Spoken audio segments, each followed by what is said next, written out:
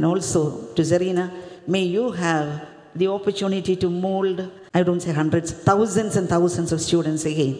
And so that you will be able to make a difference in the lives of people in India, Ernakulam, Kerala, and all over the world, wherever humanity is. One thing you have to uh, emanate from your guide is courage. Also, spontaneity, creativity.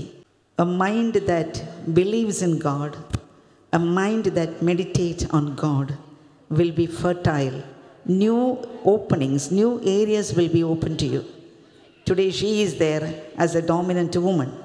Tomorrow, you should be there creating the world, creating a difference in the world and becoming a daring, I won't call only women, there are also men, daring persons both together and bringing in changes in society.